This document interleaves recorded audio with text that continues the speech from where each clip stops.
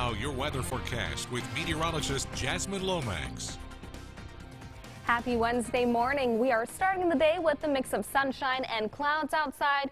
We've also got very warm temperatures. Currently, we sit at 78. It feels more like 79. Winds at this time nice and calm, but notice our visibility is reduced to 8 miles. Around the area, we see even lower visibility, 5 miles in Gonzales, 7 in New Roads, and then New Iberia at 4 miles. So as you head out this morning, there could be a few areas with some reduced visibility, maybe due to some patchy fog.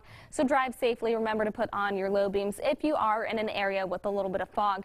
Otherwise, temperatures are generally in the upper 70s and lower 80s. We're finally starting to see some warmer temperatures, 78 in New Roads and in Gonzales, 80 in Thibodaux, and then in New Orleans already at 84 degrees. Our dew points are in the mid to upper 70s, and that's making it feel steamy outside. As the day continues, it's going to feel more like the mid 90s to the upper 90s, so just make sure to practice heat safety. As we head into midday, we could start to see a few spotty showers and storms. Even at times, we're looking at the potential for some heavy rain, but then as we head into the overnight hours, we're dropping into the 70s, but we stay mainly dry. So it's going to be another very warm night. Now, the main thing has been storms over the past few days, and that's what we're going to continue to see. Today's storms look to be spotty, possibly beginning early this afternoon, continuing into the evening. At times, we could also be dealing with some heavy rain. But going forward, that's really the same scenario. Every day there's the chance at least for a spotty storm, but we'll have some warm temperatures making it feel more like summer. This is our overall setup. There is a cold front across a good portion of the country.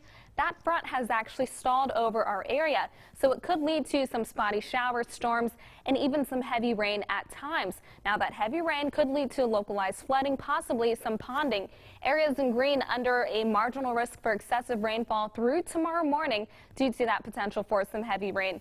Notice around midday, we start to see those storms fire up. They should be brief, but at times there's that chance for heavy rain.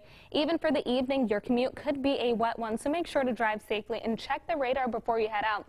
Heading into tomorrow morning, starting off mostly dry, but by the afternoon and then into the evening, still looking at the chance for a few spotty showers and storms. But the good news is it doesn't look like the days are going to be washouts. Over the next seven days, there is the daily chance for a few spotty showers and storms.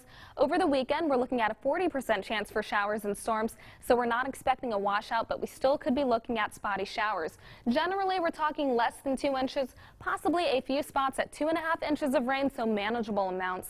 We're also keeping an eye on the tropics. An area has a 10% chance of formation, but really not expecting that system to develop. Today we're rising to about 90 with the chance for passing storms and a little bit of heavy rain, but overnight we start to dry out. Temperatures are dropping into the mid 70s and then going forward we keep the warm temperatures upper 80s and lower 90s for much of the week.